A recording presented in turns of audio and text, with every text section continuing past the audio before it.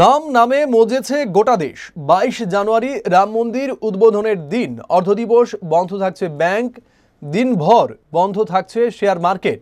ছুটি থাকছে উত্তরপ্রদেশ, মধ্যপ্রদেশ, গুজরাট, মহারাষ্ট্র, গোয়ায়। অর্ধদিবস ছুটি থাকছে রাজস্থানে। অসমে থাকছে অর্ধদিবস ছুটি। একই ছবি ত্রিপুরাতেও। এরই মধ্যে এবার বড় ঘোষণা করে দিয়েছে রিলায়েন্স ইন্ডাস্ট্রিজের ম্যানেজিং ডিরেক্টর মুকেশ আম্বানি। বাইশ তারিখ রিলায়েন্স ইন্ডাস্ট্রিজের সমস্ত অফিসে তার সমস্ত কর্মচারীদের জন্য ছুটি ঘোষণা করেছেন। তা নিয়ে চলছে শোরগোল।